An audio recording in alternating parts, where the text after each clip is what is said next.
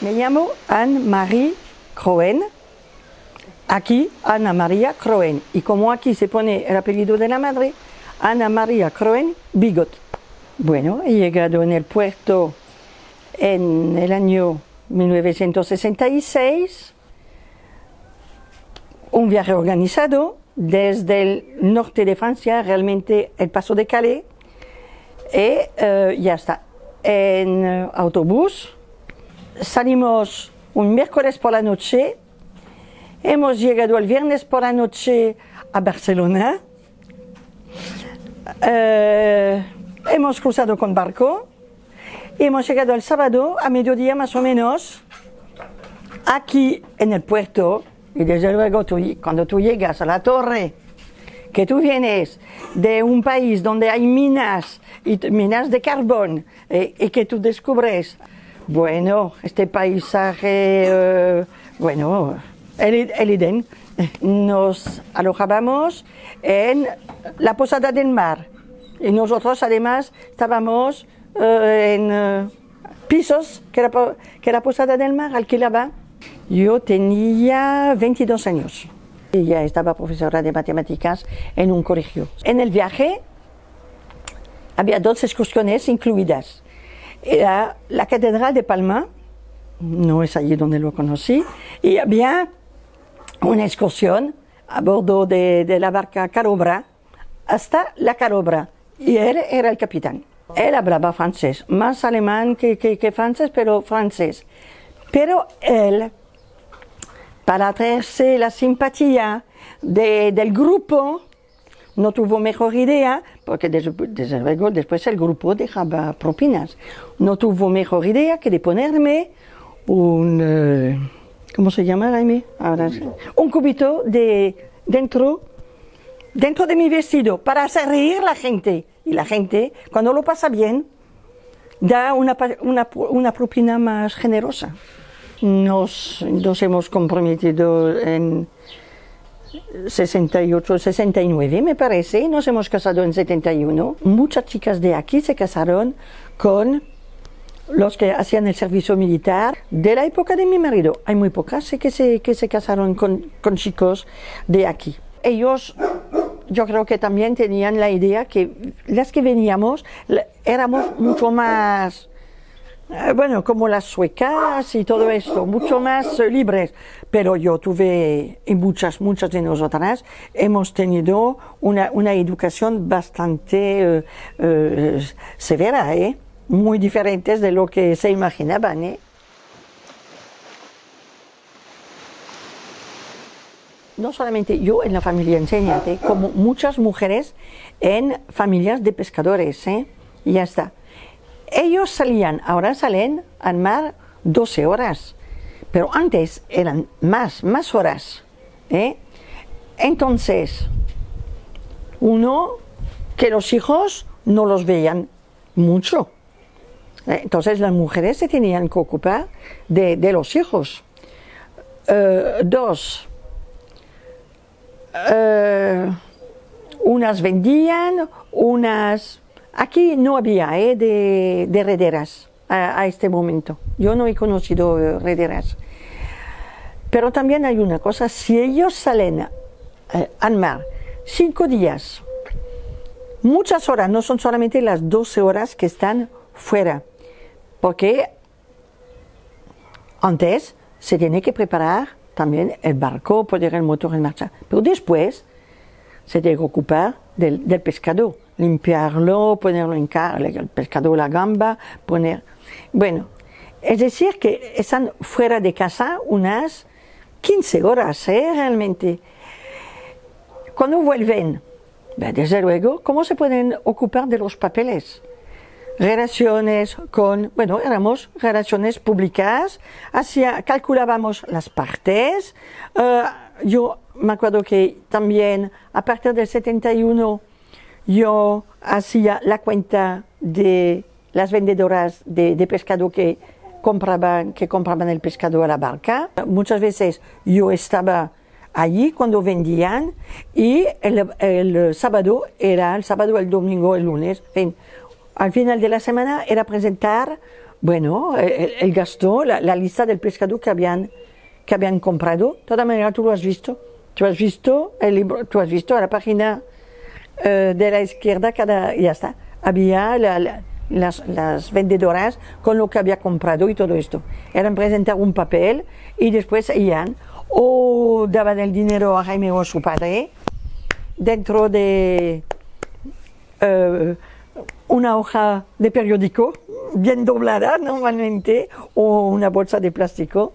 Realmente la- las mujeres tenían una importancia muy grande ¿eh? en las familias de, de, de- pescadores. Una importancia muy grande. Bien pocos habían podido tener una casa si la mujer no había, no había trabajado. Yo, bien pocos habían podido tener su propia casa. Eh, que sean las vendedoras de, de- de- de- de pescado, es verdad. No, no, no, las mujeres tuvieron un, ya está, un papel muy, muy, muy importante, que antes no se reconocía. Mi suegra trabajó muchísimo, les ayudó mucho, les ayudó mucho.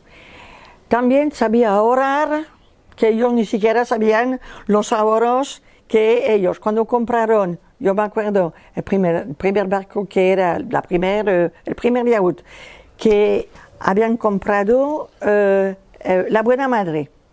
Y cuando mi, mi suegro dijo, bueno, pero ahora eh, necesitamos redes. Eh ella dijo, yo tengo el dinero para las redes. Ah, estaba ahorrando, ahorrando sin decir nada, ni a, ni a su hijo, ni a su marido, y ya está. Y había el dinero para el material de las redes. No podían hacer, no podía hacer las cuentas porque ella, que ahorraba tanto, no sabía leer, ni leer, ni escribir, ni contar. Ya está. Había, salido, había perdido su padre muy joven y no había, no había ido a la, escuela, ella. Pero desde luego era, bueno, una matriarca, ¿eh? por, por, por esto, una, eh, era una, una mujer admirable.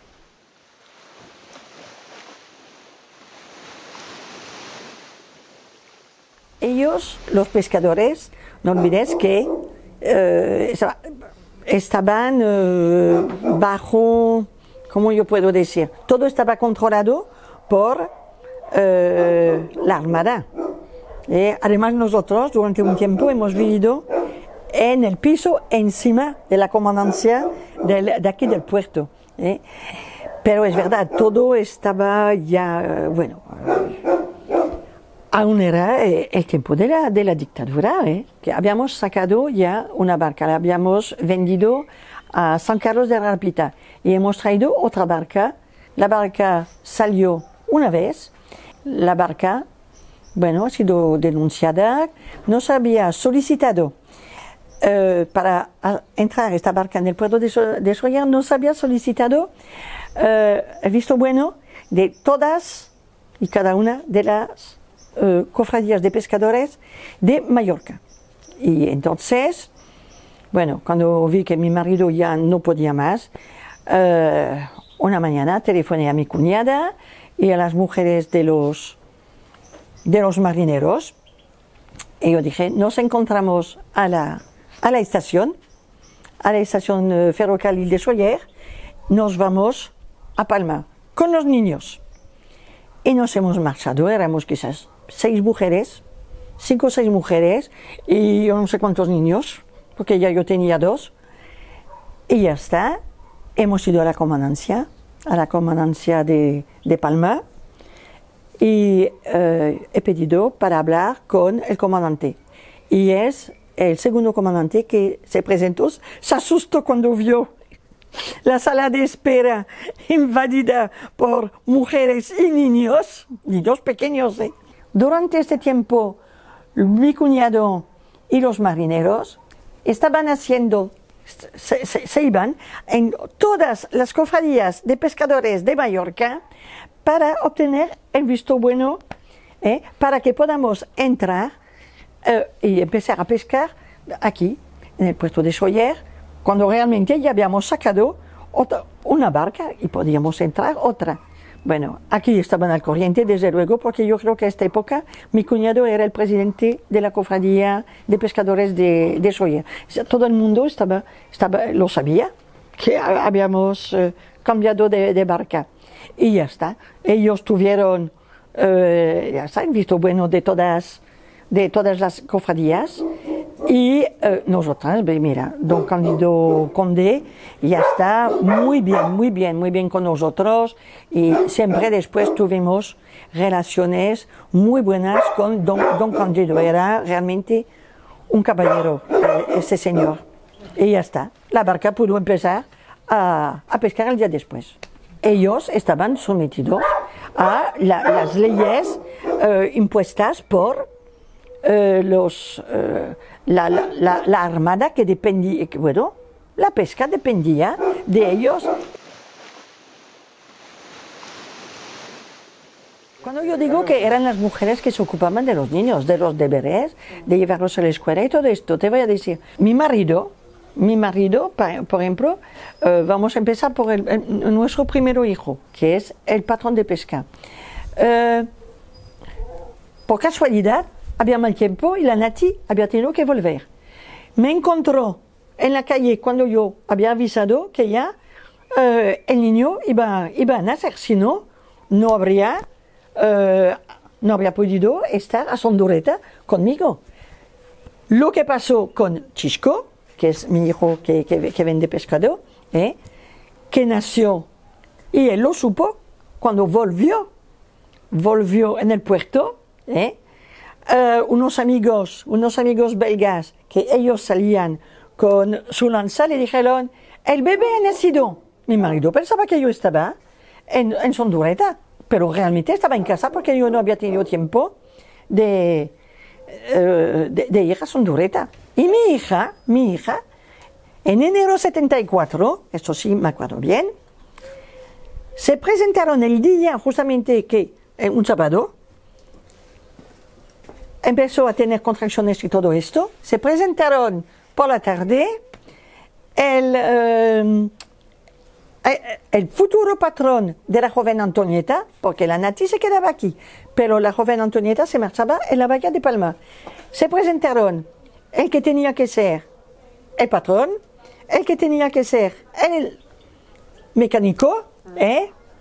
Y yo dando vueltas y vueltas y vueltas en el apartamento encima justamente de la comandancia, de la comandancia de la Marina, que ya no podía más.